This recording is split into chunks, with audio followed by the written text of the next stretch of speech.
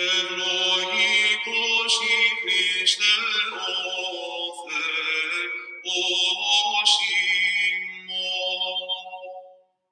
Ο Πασόφους τους αλήσαν αδείξας, καταπέμψας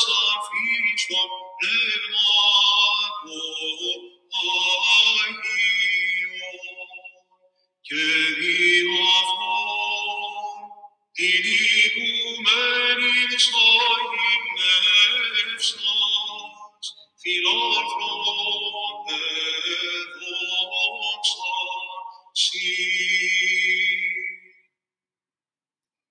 morning, everyone. My name is Kiria Vasiliki, and I help out at All Saints Church in Belmore with the Nipia class.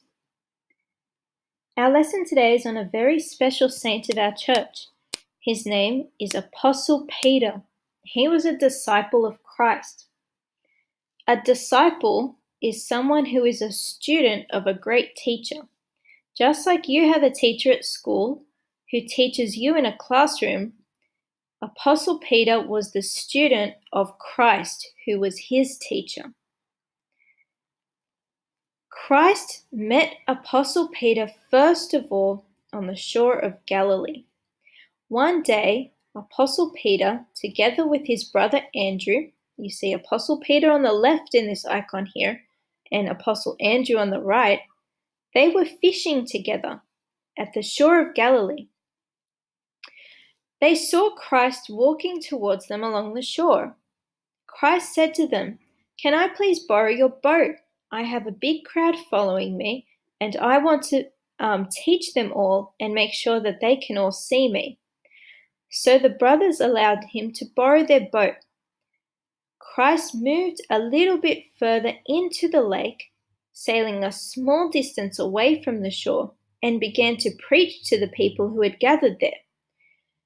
Peter and Andrew were listening to him very carefully, and they were very impressed by what they heard.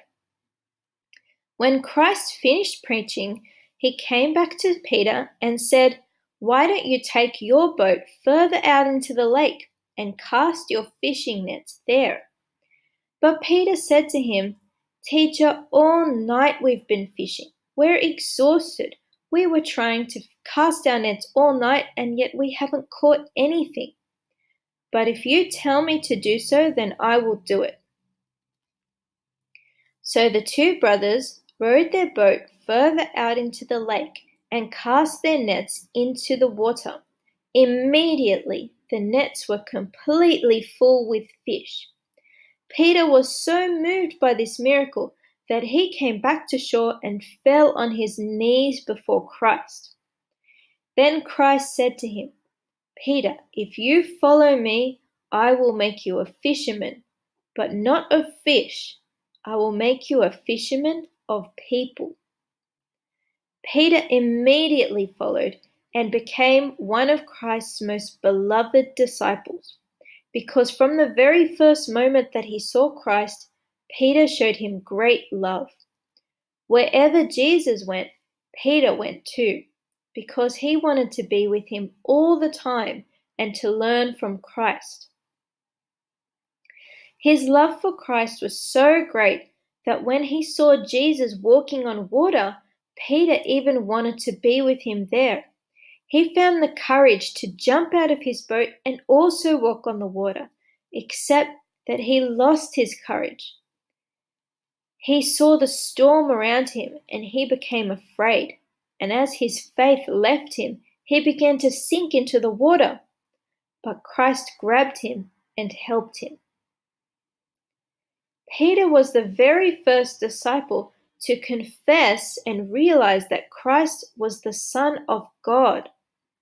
He had so much love and respect for Christ that during the Last Supper, when Christ wanted to wash the disciples' feet, Peter refused to let him wash his feet.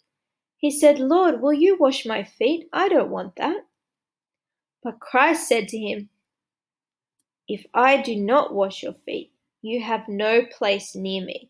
You see that Christ is almost telling Peter off. He's saying, You don't understand what I'm doing. Peter then showed how much love he had for Christ by saying, Lord, wash not only my feet, but my hands and head as well. And you see in the icon, St. Peter is holding his hand to his head, showing that he's asking Christ to wash his head too. We see that in all of these icons of Christ washing the feet of the apostles.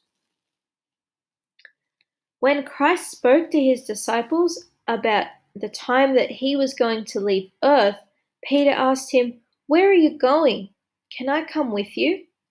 He loved Christ so much that he wanted to be with him forever.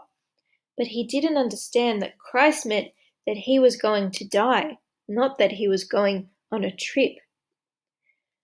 Despite loving Christ so much, Peter was also the disciple who denied Christ three times. You see in this icon that St. Peter, who is down the bottom in a golden robe and with short hair and beard, came to watch what was going to happen at Christ's trial. And he was standing in the courtyard where there was a nice bonfire, warming his hands and trying to look inside the door to see what was going to happen with Christ. But people noticed him and pointed at him and said, Aren't you a friend of Christ? And Peter became afraid. He said, No, I don't know that man, because he didn't want to be captured and crucified as well. As soon as Peter said this, the rooster, you see it up in the top corner, crowed three times. And St. Peter remembered that Christ had told him, Before the rooster crows, you will deny me three times. He was so upset that he wept bitterly, and he did something that in the Orthodox Church we call repentance. That meant he felt very sorry for what he had done. After Christ resurrected, he saw that Peter had sincerely repented. He sincerely was sorry for what he had done, and Christ forgave him. St. Peter was a very strong and very loving man, and that is why Christ chose him to be his disciple. He loved Christ very much, and the more he knew Christ, the more he loved him. In our life, we also have to love Christ just as St. Peter did to the point where we're willing to give everything else up for Him. St. Peter was a disciple of Christ and a leading apostle of our church. He sets a good example for all of us to follow, and we celebrate him on this coming Monday, the 29th of June. Now, to conclude, we have a Kahoot activity for you to take part in to see if you remembered all of the details of today's presentation. You can find the link down below in the description box.